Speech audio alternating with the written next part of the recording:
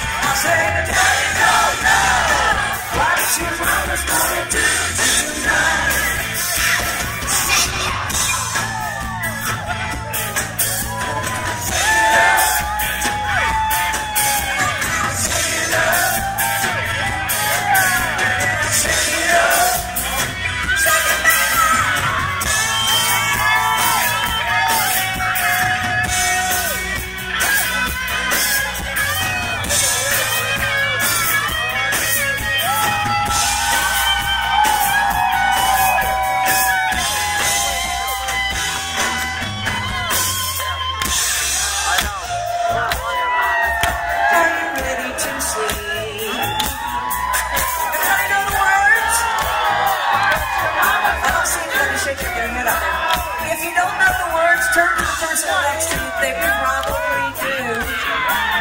Especially if you take the elevator a lot. It's elevator music. Ah! Or on much more music. One of those old timey things.